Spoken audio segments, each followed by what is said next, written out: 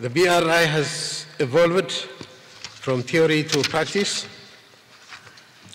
and from a mere vision into reality, as well as from general framework into concrete projects. BRI cooperation has delivered real gains to participating countries, including my country, Ethiopia.